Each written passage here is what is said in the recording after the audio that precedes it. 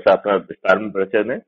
हाँ मैं अभी अपन मिले थे ना सर परसों बुथरा जी के साथ जो मीटिंग हुई थी संजय अच्छा, वर्मा जी की।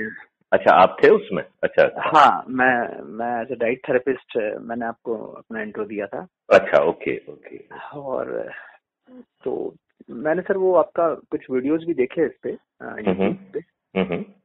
तो बेसिकली ये जो आपका सीएफबी का जो जो भी ऐप के थ्रू जो आप एंटर कराना चाहते हैं ये चालू हो गया है? मतलब रोज लोग जो ये इसका बीस तारीख को डेमो हमारे ये तो हम लोग खुद बना रहे हैं ना बच्चे बना रहे हैं।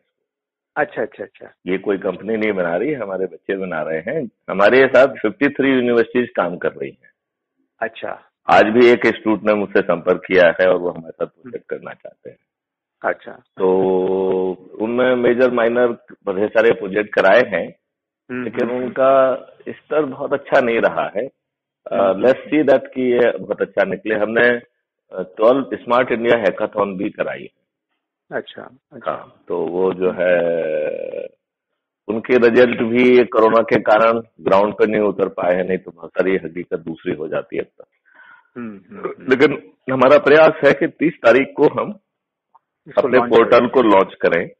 अब वो टाइम लाइन तो कई बार बहुत सारी चीज़ों से कई बार हम्म, मेंटेन नहीं हो पाती है बट ऐसा विचार है अभी।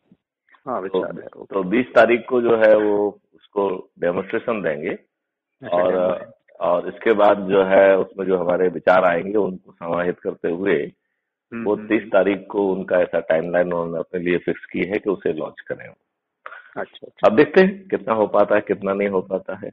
हम्म, हम्म, हम्म, और इसमें तो ढेर सारे ऐप रहेंगे वन ऐप थोड़ी रहेगा। हम्म, क्योंकि ये पाँच सर्टेनिटी तो वही दे रहा है एक रजिस्ट्रेशन की देन एक डिटेक्शन की देन हम्म। वो कोर्ट को जो है ना मदद कर रहा है कि हम आपका पंद्रह दिन में जो है कन्विक्शन कराएँगे। देन कह रहा है कि हम इतना डाटा कलेक्ट कर लेंगे कि हम प्रिवेंशन को एक सर्टेनिटी बना देंगे। हम्म, hence doing crime in India would be a difficult proposition इतनी आसानी से आप अपराध नहीं कर पाएँगे। और फिर जब आपके पास इतनी ज़्यादा ज़्यादा जानकारी है तो हम्म, फिर कोई वजह नहीं बनती है कि अपराधी को आप रिहेबिलिटेट ना करें। उसे अपराधी क्यों बने रहने देना चाहते हैं? हम्म, उसके माथे पे आप अपराधी का बिरला क्यों लगाना चाहते हैं? हम्म, हम्म, हम्म, तो वो एक अच्छा नागरिक बन जाए रिहेबिलिटेट हो जाए। और इसीलिए फिर सीएफबी ने ढेर सारी स्ट्रेटेजी सोची हम्म, और उसका स्वरूप धीरे धीरे बदलता गया। जैसे सीएफबी एग्रो स्ट्रेटेजी है वो देश को जो है जो केमिकल्स हैं पहले हम्म। खेतों में इसके बाद हार्मोनल फॉर्म में फिर इसके बाद घरों में हम्म, हम्म, इसको विलुप्त करने की योजना है। तो हम अपने अन्न को हम अपने सब चीज़ों को जो है वो अमृत तुल्य कर देंगे। ये जर्सी गायें भी विलुप्त हो जाएँगी देसी गायें रहेंगी और देसी गायों का जो गोबर है उसमें अमृत जो है लक्ष्मी जी विराजित हैं तो इस मैथोलॉजिकल मैसेज के ऊपर एक बड़ा विज्ञान छिपा हुआ है। हम्म, हम्म, हम्म, तो उन सबको एक बहुत ही इंटीग्रेटेड फॉर्म में कर रहे हैं और इसके लिए जो हमने बेसिकली किसी भी चीज़ को ज़मीन पर उतारने के दो बहुत बड़े जो है ना नेगेटिव पॉइंट हैं बहुत बंधन है सीमाएँ हैं। हम्म, एक है अर्थ हम्म, और दूसरा है कॉस्ट हम्म, हम्म, हम्म, और अनफॉर्चुनेटली ये दोनों चीज़ ह्यूमन के द्वारा क्रिएटेड है। नेचर में ना तो कोई कॉस्ट है और ना ही कोई अर्थ है राइट हम्म, हम्म, हम्म, तो हम सीएफबी ने बेसिकली कॉस्मिक सोच के तहत इन दोनों सीमाओं को पार कर लिया है। हम्म, हम्म, हम्म, इसलिए हम कह रहे हैं कि हम स्केयर सिटी से अबंडेंस में प्रवेश कर जाएँगे। हम्म, और फिर इसमें आयुष मॉडल है जो गाँव के हर व्यक्ति का जो है एनुअल चेकअप करेगा स्वदेशी पद्धति से इलाज होगा। जहाँ ऑपरेशन की आवश्यकता है वहाँ सीएफबी की एम्बुलेंसेज जाएँगी और मोदी जी की जो योजना है आयुष योजना उसके तहत जो है ना कैश फ्री उसका ऑपरेशन भी करा देंगी। But but allopathy will pathy will only be use as a critical condition science of emergency हाँ इमरजेंसी में critical it is not science of treatment because it है। ही नहीं वो क्योंकि वो जो भी करती है और हाँ। और दूसरी बात ये है कि जो इंडियन एलोपैथी है वो दूषित पैथी है। क्योंकि उसको जो है जानबूझ के स्वार्थ में फार्मास्यूटिकल लॉबी ने और डॉक्टर्स ने आईसीएमआर ने और ढेर सारी आईसीएमए वगैरह ढेर सारी जो एसोसिएशन हैं उन्होंने उन्हें दूषित कर दिया है और वो जो एलोपैथी जैसे साइंस थी हम्म, साइंस से हट गई है वो। हम्म, हम्म, हम्म, वो शुद्ध लाभ का सौदा बन गया है। हम्म। इस तरीके का जो है ना उसमें दोष आ गया है, मिसगाइड भी कर रहे हैं वो अब। अब जो है नहीं मिसगाइड देखिए देखिए देखिए देखिए मिसगाइड करना एक मजबूरी है। हाँ। या तो आप में अंदर जो है ना शक्ति होना चाहिए। हम्म, और यदि आपके अंदर शक्ति नहीं है तो आप कुछ ना कुछ ढकोसला कुछ ना कुछ भ्रम कुछ ना कुछ जो है ना मिसगाइड करके ही अपने हम्म। प्रभुत्व को मेंटेन कर पाएँगे ना। हम्म, हम्म, हम्म, जिसको आप गाली दे रहे हो उसके पास हर चीज़ की जो है ना दवा है और हम्म। आपके पास 90 परसेंट चीज़ों की दवा नहीं है। हम्म, आप हर चीज़ को धीरे धीरे ऑटोनोमस डिसीज कहते जा रहे हो। हम्म, तो चाहे वो कैंसर हो चाहे वो ऑटोनोमस डिसीज हो हम्म, हाँ, वो सभी चीज़ें जो है it is not on account of any bacteria और virus it is largely on account of revolt of your cell against your cell क्योंकि कोई भी क्योंकि और वो किस सेल को रिवोल्ट करना पड़ रहा है? हम्म, जो भगवान ने चमत्कारिक सेल बनाई है। हम्म, जो आप कुछ भी खाते हैं वो आप आपने परिवर्तित कर देती है। ठीक है ना? हम्म, हम्म, जो जिसमें कि आपकी पूरी जेनेटिक इंफॉर्मेशन है उस हम्म। सेल में इंफॉर्मेशन आपके ब्रेन के सेल से ज़्यादा है। हम्म, ऐसे चमत्कारी सेल जो कि हर सात साल में आपकी बॉडी का हर सेल बदल जाता है हम्म, ऐसे चमत्कारी सेल को हमारी केमिकल की ओवरडोज हम्म, हमारे हार्मोन्स की ओवरडोज सौंदर्य प्रसाधन किचन में नकली वकली सभी चीज़ों से हमने उसको कंफ्यूज कर दिया है। हम्म, मतलब ये हमारी दुष्टता की नेचर के विरुद्ध जो है दुष्टता की पराकाष्ठा है। पराकाष्ठा है, राइट? और। सीएफबी की सोच है कि चूँकि हम केमिकल को विलुप्त कर देंगे नेगेटिव हम्म। चीज़ों को विलुप्त कर देंगे हम्म, तो जो पाँच साल में अभी कैंसर हमारा ऐसा प्रोडिक्शन है कि हर हम्म। तीन में से दो लोग कैंसर से ग्रसित होंगे। हम्म, तो यदि आपकी 66 परसेंट लोग जो नकली दूध और ये सब पी रहे हैं वो हम्म। सब जो है कैंसर से ग्रसित होंगे। हम्म, और एक व्यक्ति उसे अटेंड करने के लिए लगेगा। हम्म, इसका मतलब है आपकी 99 परसेंट पॉपुलेशन जो एक खतरनाक चीज़ों को सेवन कर रही है उनको छोड़ के कि जो कि इन सब चीज़ों का सेवन नहीं कर रहे हैं वो बच जाएँगे। बट जो इनका सेवन कर रहे हैं उनमें से 99 परसेंट जो है वो कैंसर रिलेटेड व्याधियों में फंस जाएँगे। उनका जीवन नरक तुल्य हो जाएगा। उनकी इमोशनल फ़िज़िकल हम्म, और मानसिक सिचुएशन एकदम दयनीय होगी। हम्म, भारत अपने आप में एक दयनीय देश बन जाएगा। हम्म, हम्म, सही बात है। और यदि हम जो सीएफबी कह रहा है यदि हम उसको करके केमिकल फ्री कर देंगे तो चूँकि हम्म। पॉजिटिव फैक्टर खत्म हो जाएगा हम्म, तो ये कैंसर और ऑटोनॉमस डिसीजेज विलुप्त हो जाएँगी। बिना किसी प्रयास के विलुप्त हो जाएँगी। हम्म, हम्म, क्योंकि हमारी जब सेल शांत हो जाएगी उसे कोई एजिटेशन नहीं रहेगा तो जो है ना कैंसर खत्म हो जाएगा। बिल्कुल बिल्कुल। Because cancer is not a disease हाँ वो डिज़ीज़ नहीं है इसे इसे agitation it is a revolt वो सही बात। राइट मतलब I hope you agree with this analysis हाँ नहीं बिल्कुल सही बिल्कुल परफेक्ट है। अ, सर इसी परिप्रेक्ष्य में हाँ, मैं हाँ। एक आपके पास कैंगन वाटर का डेमो देखा है आपने? नहीं मैंने नहीं देखा। तो मैं एक बार आपके घर पे वो डेमो करना चाह रहा था तो आप ज़रूर करिए। किस वक्त किस वक्त हम आके कर सकते हैं? आपकी सुविधा के हिसाब से जब आप कहेंगे हम आप हम समय निकालेंगे आपके लिए। अच्छा ठीक है सर। तो मैं आपको ये दशहरा हो जाए फिर दशहरे के बाद में आपको अ, आप आप अपनी सुविधा से करिए अपनी सुविधा से करिए। और ये देखिए कि इसके इसके पहले के ये देश जो है लोग बागों हाँ। का ये अनुमान है कि हम्म। अगला थर्ड वर्ल्ड वार जो है वो पानी के कारण होगा आपने कई जगह पड़ा होगा। हाँ? बिल्कुल और मैथिली सर का कहना है कि यदि हमारी स्ट्रेटेजी चलेंगी तो हाँ थर्ड वर्ल्ड वार होगा ही नहीं ही। हमारा पानी पुनः जो है आठ दस फुट पे आ जाएगा हाँ नहीं नहीं बिल्कुल ये भी आपका प्रयास मैं अब दिन ध्यान से सुन रहा था जो आपका कंसेप्ट था वो वाकई मुझे बहुत अच्छा लगा और मैंने कहा नहीं चलिए एक और एक ग्यारह हो सकते हैं तो हम हमारा ये जो नहीं उसमें कई एक जोड़ना पड़ेंगे तो वो करोड़ भी हो जाएँगे करोड़ भी हो जाएगा तो आपके थॉट हमारे थॉट से मिले काफ़ी तो हमने कहा नहीं ठीक है हम आपको ये पानी का एक डेमो मशीन का दिखाना चाहते हैं हाँ, हाँ। ये जैपनीज टेक्नोलॉजी है बेसिकली हम्म, हम्म।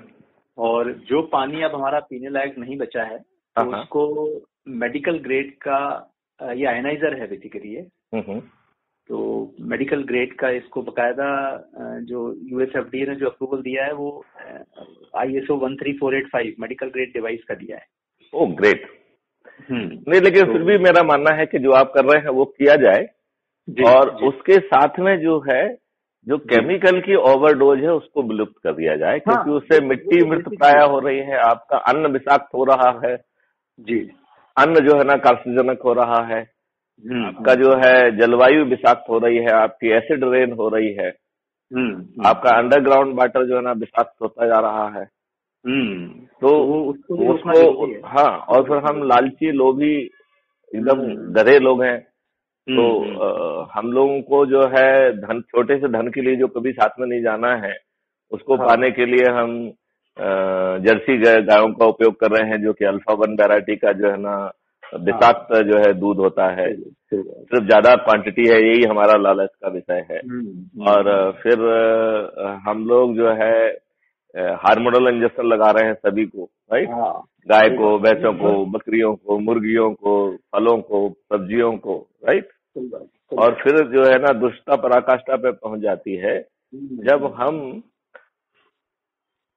दूध को नकली ढंग से बनाते हैं और वो भी हाँ। बड़ी संख्या में। जिनके पास जो है पाँच गायें नहीं है वो टैंकरों दूध बेच रहे हैं। ये किसी को नहीं दिख रहा है। सही बात। मतलब ये तो दिखना चाहिए ना किसी ना किसी को। नहीं दिख सबको रहा है सर लेकिन बस ये है कि जो एक्शन लेने वाली जो वही आप जो गवर्नमेंट डिपार्टमेंट का कह रहे थे हाँ, लेकिन उसमें देख उसमें सोनी जी को तो बड़ी मिर्ची लगी। हाँ। जबकि आप इस बात के लिए तनख्वाह ले रहे हो इस बात के लिए आप काम करते हो बट ये आपका कहना भैया आकलन और ये एनालिसिस आपका बिल्कुल परफेक्ट है कि हम्म। गवर्नमेंट डिपार्टमेंट भी बाधा बहुत बड़ी बाधा बने हुए हैं। नहीं बाधा नहीं है। उनका वो छोटा स्वार्थ जो है हाँ, वो उन्हें रेंट सीकिंग बिहेवियर के लिए हाँ, हाँ। मजबूर कर रहा है। हाँ मजबूर और अब है। जो है उसमें चूँकि उनकी पोस्टिंग में भ्रष्टाचार हो गया है तो उन्हें पैसा कमाना है। हाँ तो फिर जब पैसा उनके लिए कमाना है तो कुछ अपने लिए भी कमाना है। सही बात है सरकार जो है ना इतना अच्छा काम कर रही है उसने 2004 से जो है पेंशन हम्म। खत्म कर दी है तो नेता हाँ। एक दिन यदि एमएलए एमपी रहेगा तो उसे पेंशन मिलेगी और हाँ। एक ब्यूरोक्रेट और एक पुलिस वाला और एक बाकी जो है ना शासकीय सेवक वो चालीस हाँ। साल सेवा करेगा तो भी उसे पेंशन हाँ। का हक नहीं होगा हाँ तो ये ये भी मुझे एक कोई सोची समझी चाल लगती है कि। ब्यूरोक्रेट को असुरक्षित कर दिया जाए तो हम्म। अभी कम से कम जो हेकड़ी वाले जो ब्यूरोक्रेट्स हैं उनकी हम्म। संख्या भी जो है ना वो नदारद हो जाए। और हाँ, सभी लोग तो- अपने भविष्य के प्रति चिंतित रहेंगे। हाँ तो कुछ ना कुछ भ्रष्टाचार और कुछ ना कुछ गलती कर ही देंगे। उस गलती को ये पकड़ के उसको जो है ना और ब्लैकमेल करके फिर उसको जो है ना एकदम ही निकम्मा बना देंगे। हम्म। अपने आदेशों का गुलाम बना देंगे। हाँ। इन्हें इस बात की कोई चिंता तो देश की है नहीं। देश में चपरासी बनने के लिए आपको सचरित्र होना चाहिए लेकिन देश का कानून बनाने होने के लिए बागडोर संभालने के लिए आपको सचरित्र होने की कोई ज़रूरत नहीं है। ये तो और- बहुत बड़ी गलती है। इसमें सुधार होना चाहिए। कौन करेगा सुधार? कौन करेगा सुधार? टिकट तो सभी पार्टियाँ दे रही हैं। हाँ नहीं सर हम आपको और हमको ही आगे आना पड़ेगा और इस मांग अरे हम और आपकी कौन सी औकात है? हम आप क्या बिगाड़ लेंगे? हाँ, जिसको काम करना है वो तो जो है ना इसको सुनने के लिए तैयार नहीं है। हाँ, और सबसे बड़ी बात यह है कि जो 42 परसेंट अभी क्रिमिनल्स हैं 2024 के पार्लियामेंट में ये संख्या निश्चित तौर पे 50 परसेंट को क्रॉस कर जाएगी। हम्म, हम्म, तो हमारी चिंता ये है कि तब फिर इसको डेमोक्रेसी क्या हम कह पाएँगे? ये डेमोक्रेसी नहीं। होगी it will be called a criminalocracy right. तो तो government of the criminal by the criminal for the criminal hmm, कानून बनाने की शक्ति उनकी होगी कानून को पालन कराने की शक्ति उनकी होगी पुलिस उनकी होगी शासन उनका होगा और वो बेसरम भी होंगे और क्रिमिनल भी होंगे। तो उस समय आपका क्या हाल होगा? थोड़ी सी कल्पना करिए कुछ मेरे ख्याल से ज़्यादा मुश्किल काम नहीं होगा। हम आसानी से अंदाज लगा सकते हैं कि हमारी स्थिति अत्यंत ही दयनीय होगी और हमारे हॉट जो है वो पूरी तरह से सिले होंगे। हम्म, हम्म, हम शायद अपने घरों में भी सुरक्षित नहीं होंगे। सही बात वही तालिबान जैसा हाल हुआ था अफ़गानिस्तान का जो हाल हुआ है। लेकिन भारत की वैदिक शक्ति तो ऐसा नहीं होने देती है लिहाजा इसमें रिवर्सल कुछ ना कुछ हम्म। कॉस्मिक चमत्कार तो होना ही होना है इन दो सालों में। है? मैं मैं तो नेताजी सुभाष चंद्र बोस का भी भक्त हूँ और अनुयायी हूँ। तो बेचारे मैं सबसे ज़्यादा अन्याय तो बोस जी के साथ ही किया गया। हाँ उनकी तो मौत का सौदा किया गया। उनको तो जो है। ना मजबूर किया गया कि जिस व्यक्ति ने हाँ, विदेशों में जाके जो है एक आज़ाद हिंद फौज बना ली हाँ। उस व्यक्ति ने 11 देशों में आज़ाद भारत को मान्यता प्रदान करा दी। उसे हम्म। बौने चरित्र के लोगों ने उसकी मौत का सौदा खैर बौने चरित्र के लोगों ने बहुत सारों की मौत के सौदा किया श्यामा हाँ, मुखर्जी की मौत का सौदा किया। आपकी जानकारी के लिए बता दूँ मैं हाँ। नेताजी सुभाष चंद्र जी अभी भी जीवित हैं और बहुत मेरी मुलाकात कराइए ना। हाँ बिल्कुल सर बिल्कुल होगी आपकी मुलाकात तो बिल्कुल करवाएँगे। क्योंकि शायद वो मुझसे मिलके शायद उनकी आत्मा को कुछ शांति मिले। हाँ नहीं सर बहुत अच्छा। और मुझे मैं आपसे इस संबंध में भी आगे चर्चा करूँगा क्योंकि हाँ, हाँ। हमारा एक मिशन चल रहा है जिसमें आपके मिशन के अध्यक्ष कल मुझसे आके मिले थे। जी जी जी जी। मिले थे। हाँ राम गोपाल बंसल जी जो है। अरे नाम गोपाल बंसल जी नहीं है वो तो शायद सचिव वगैरह हैं।